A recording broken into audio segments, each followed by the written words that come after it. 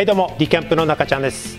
えーと、今日はですね普段使っているクーラーボックスのですね、まあ、性能ですね氷がどれだけ溶けにくいかっていうのをですねちょっとやってみたいと思います。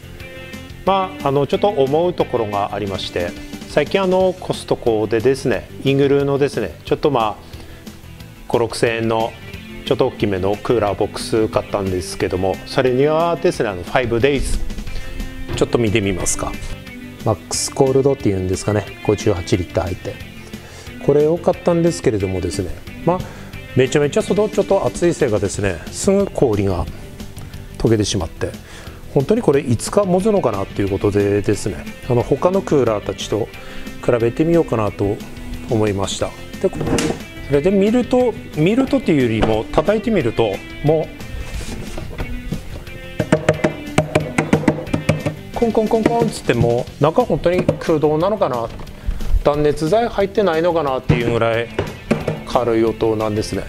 でこの蓋はですね、えー、とこの真ん中あたりに丸い蓋あるので、ま、上は断熱材入ってそうなんですけどもこれもなんか怪しい音してますね。でこのですねあのちょっと氷の実験終わった後にですねドリルでちょっと穴開けてみて。もしあの断熱材入ってなかったらウレタンフォームですね。流し込んで。まあそれで。氷またどのぐらい持つのかやってみたいと思います。これが去年買ったタイプですね。これは何日持つとか書いてません。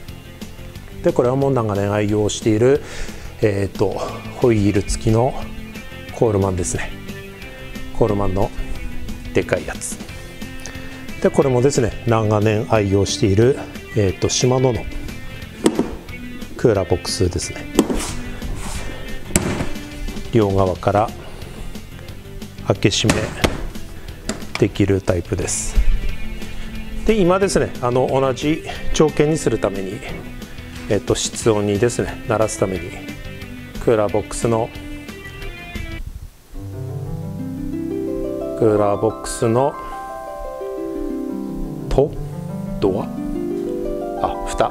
蓋をですね。みんな開けています。でこれにあと同じ大きさの氷を入れてえっ、ー、と今ですね。だいたい何時だかりゃ。9時半。回ったところかな。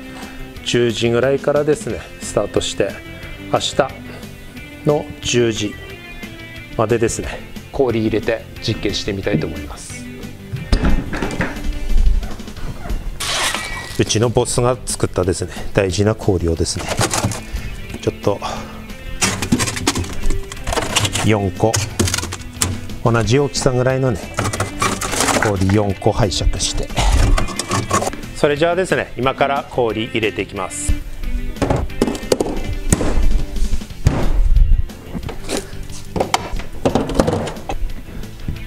はい入りました。シマノのやつはね閉めたらこれでロックできるのでロックできるものはロックしてちょっと保管します。でこれはただ閉めるだけですね。でこれも閉めるだけ。でこれも閉めるだけだけどこのイングルーの一番でかいのがですね蓋の閉まりが甘いですね。これでですねちょっと明日まで同じ条件にして待ってみたいと思います。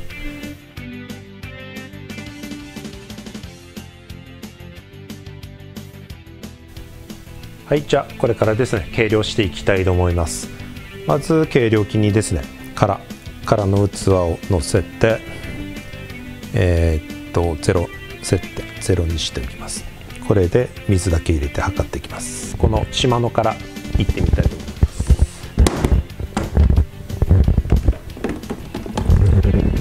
あこれはタッパーが壊れてますね。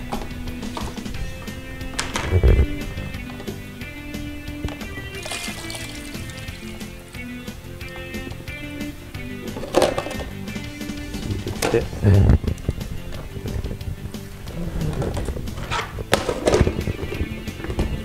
さらにちょっとタッパー壊れてたのでこの水測りますね。思ったより結構溶けてますね。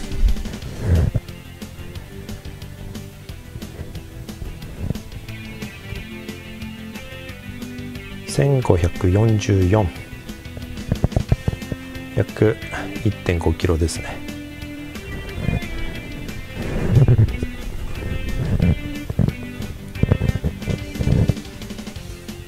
はい次はコールマンいきます。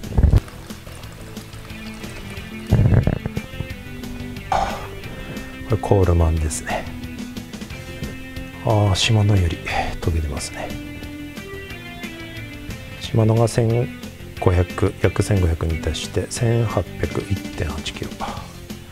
溶けてますね。はいでは次このイーグルの小さい方ですね。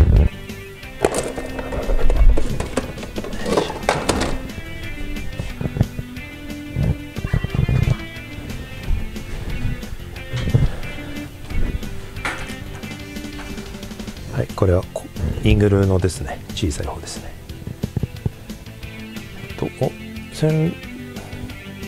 約1.6キロ。はい次ラストですね。イングルのこの大きいやつですね。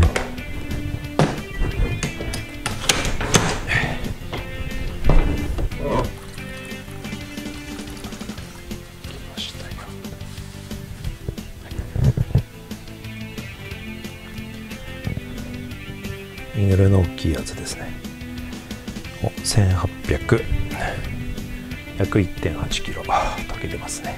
というわけでですね、えーと、計測結果発表ですね、えーと、まずシマノが 1544g コールマン 1877g イーグルの小さいやつがちょっとこぼしちゃったんですけども 1605g でイーグルの大きいのが 1818g となって、えーとまあ、この中で一番水溶けるのが少なかったのがですね、えーと、島の 1544g ですね。